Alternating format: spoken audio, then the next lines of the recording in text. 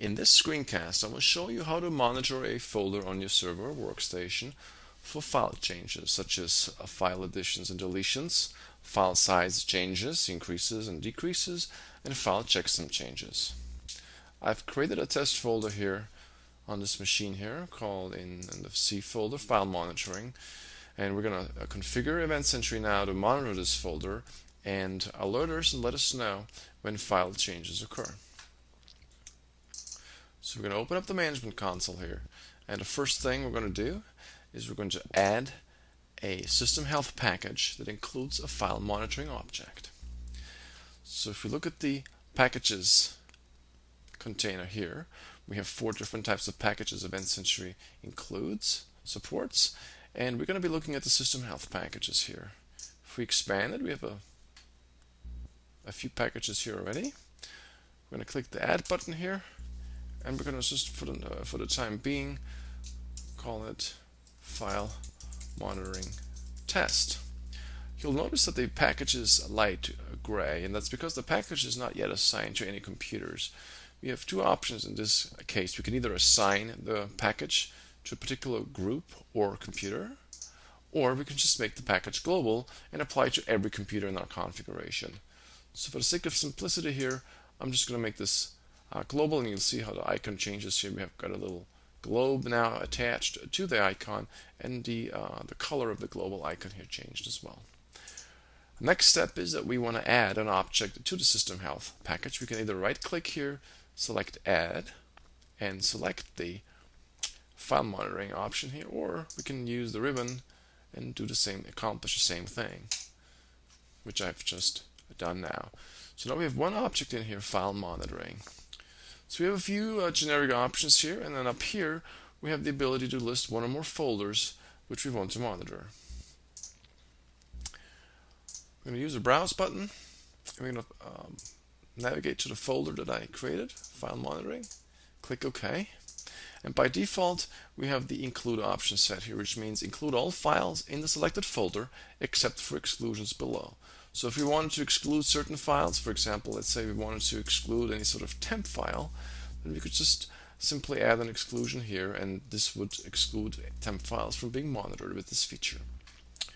Here we select which what we actually want to monitor in that folder. Here we have additions, deletions. Um, we're going to enable checksum changes as well, and file size increases and decreases, and also whether we want to detect alternate data, alternate data streams.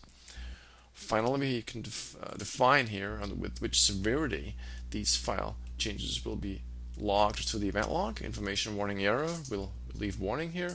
And we can also add database logging here, which which means that any sort of file change is going to be reported in the in the web reporting and visible there as well. So we're going to monitor a folder in real time. And in addition to that, we'll set it up to monitor the folder uh, recurring every five minutes in case the real-time notification from the operating system isn't sent to EventSentry.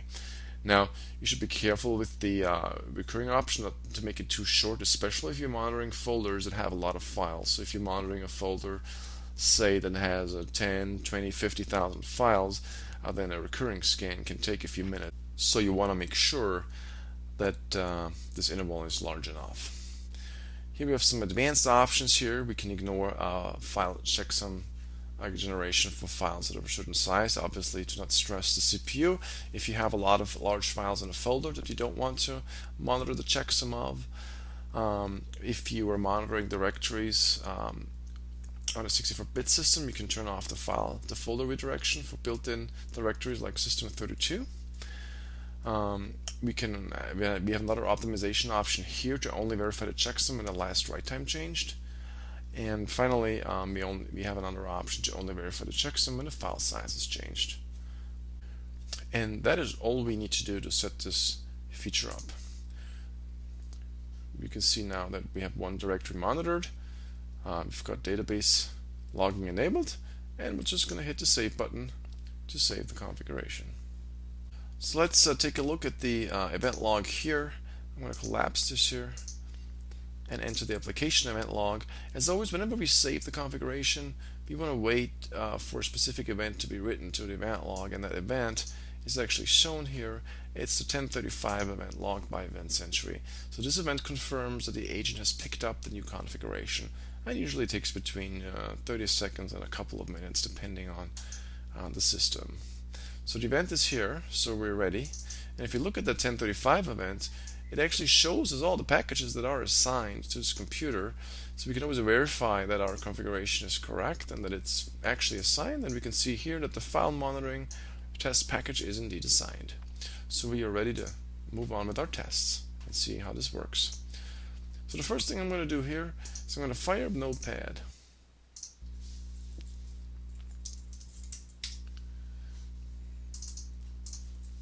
I'm going to create a test file here and I'm going to save it in our test folder. We'll call it test1.txt. Close this again. The file is here. EventSentry should now have an event here in the event log that notifies us of these changes. And it looks like we have a few more. So we have first event here that says that the file has been added to a monitor directory, test1.txt. It's 11 bytes, 11 bytes big. We have another message here that the file has been deleted, and another message that the file has been added. So these are some of the intricacies.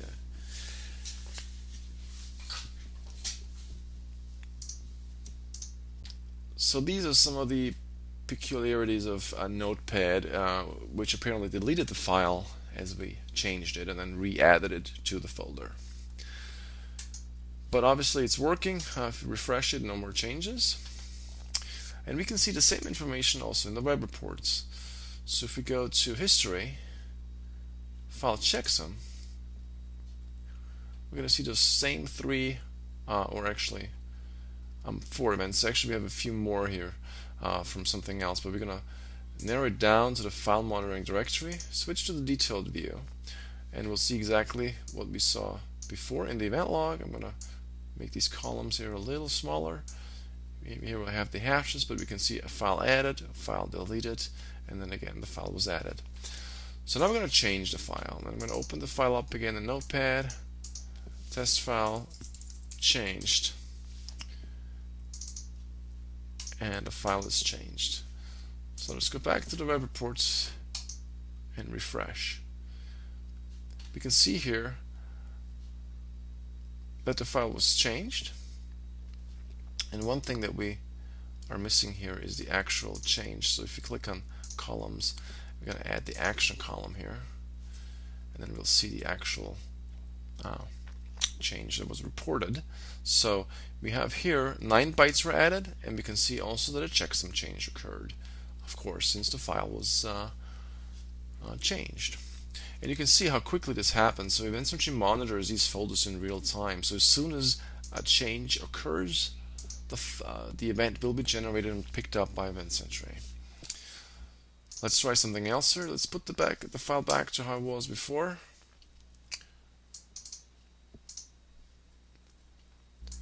And refresh the web reports again you can see here the size decreased and that we have a new checksum here. The checksum here is a little bit different because we still have that new an extra new line character probably in there, which is why it doesn't match the original checksum, which uh, started with uh, D2479 and so forth. Um, and we can confirm that here we only reduced the size by 7 bytes. So if we uh, were to go in here now, remove this new line character, save it again, and refresh, we're, we're arriving now at the same uh, checksum that we had originally, which was D24 and so forth. So that works pretty well, file additions, uh, file deletions. So now we can copy this file, test one copy, and take a look what we see now. And of course, here we are. We have a file added same checksum, of course, since it's the identical file. New file size of 11 bytes, and file was added. So that works pretty well. And of course, if we delete that file again, we'll have that change reported here as well. and the file has been deleted. And that's really how easy it is to set up file monitoring with EventSentry. One thing I haven't shown you now is a simple checksum change, so we'll do that too. So we're going to just replace this S with an uppercase S and save the file. And we'll have, maybe it was a little bit too fast here, uh, and here we'll have a checksum change now. So the file size remained the same, so we don't see any other events uh, related to a size decreased or increased because the file did not change. But we did delete, we did change that one character, which resulted in a completely new checksum. So that's all there is to it. You can see here that we have, you can view the history of file changes, but you can, but you can also see a status of the current files which you are monitoring. So here you can see that we have a, a bunch of different computers. If you're restricted to this test computer we're working on here, um, we also have, and we may have to scroll here through to see our test folder here, which is not visible. But that's good because that means we can manually uh, specify it here by selecting it here. And if we view detailed, then what we can see here is we can see the current status of all the files which we have in that folder. And again, if I add a file here, let's say we rename it so the first the first result should be that we see this file in the list now. So now we have the status. So we know we have two files in a monitored folder here. And of course, if I rename the file, this would also be picked up by EventSentry. So we have a test one and a test two, and it's been updated. Of course, uh, that sort of change in the history report would be reflected as deletion and an addition uh, of the file. But that's all there is to it.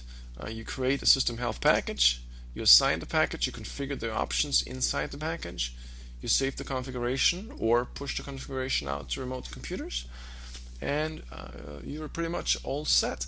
Uh, by default, EventSentry will forward email alerts of all those types of events, um, but you can always customize that and uh, create your own uh, filter rules in the email notification or any other package. And we have other screencasts that show you how to set up uh, email notifications. Thank you for watching.